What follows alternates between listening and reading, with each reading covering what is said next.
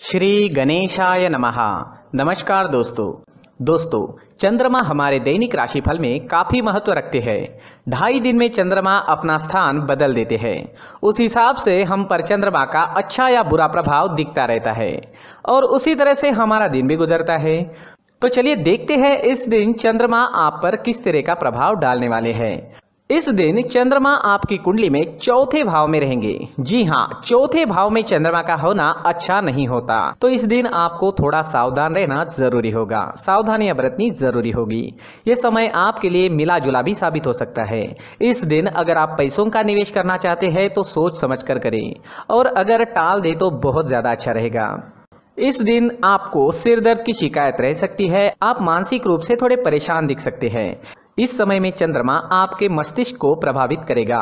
और चंद्रमा की स्थिति अच्छी नहीं है, आपके कामों में रुकावटें आएगी, लेकिन समय बहुत बुरा भी नहीं होगा। सावधानी बरतनी ज़रूरी रहेगी, नहीं तो आप किसी गलत नतीजे पर पहुँच सकते हैं।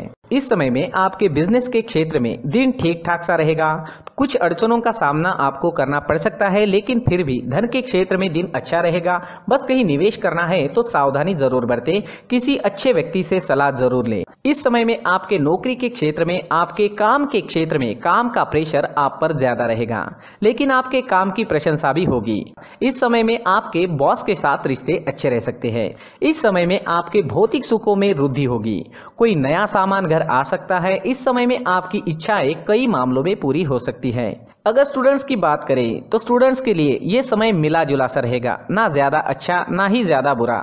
आप पढ़ाई में पूरी तरीके से कॉन्सेंट्रेट नहीं कर पाओगे।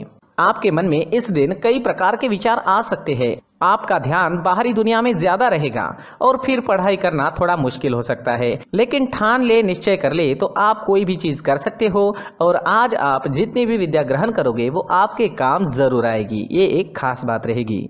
आपकी मैरिड लाइफ इस समय में बहुत अच्छी रहेगी। पार्टनर्स एक दूसरे को बहुत अच्छी तरह से समझ लेंगे। मैरिड लाइफ एंजॉय करने के लिए समय अनुकूल है।